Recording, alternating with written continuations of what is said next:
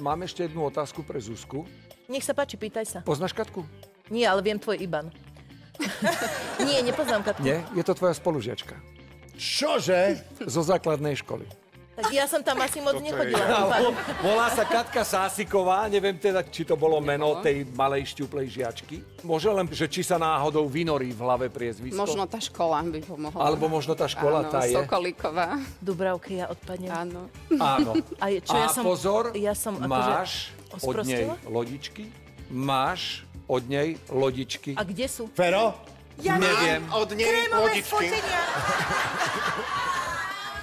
Pani Maja je na rade. Najma je na rade a čaká. A aj 44 robíte? 40 To sú lyžiarky, ale urobí. Katka, dáme to, dáme to, neboj sa. Na podpetku. Pomeriame vzadu. A tie vaše lodičky, čím sú špeciálne? Čím sú práve také tie... Počkaj, Vladuško, ale to nemôžeme len tak odpinkať. A Katka, my sme chodili do tej istej triedy. A chce sa nie, vrátiť nie. k tomuto ešte. Naozaj? Cestovali sme veľa spolu do školy, zo školy, zo sídliska.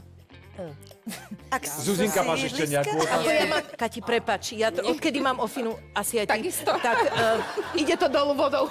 Ešte len dodám, že nielen vy máte od nej lodičky, mnohé dámy, ale aj pani prezidentka nosí práve lodičky od eh, Katky Sásikovej.